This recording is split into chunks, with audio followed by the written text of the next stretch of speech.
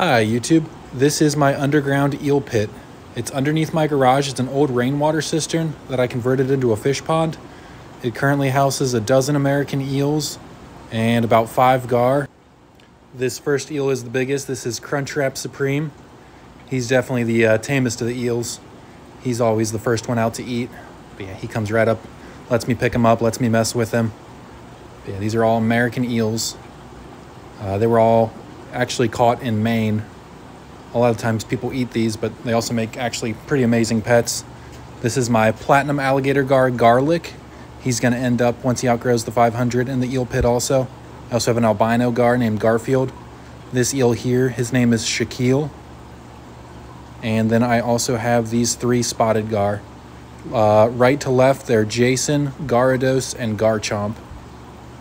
But yeah, everyone's doing amazing down here.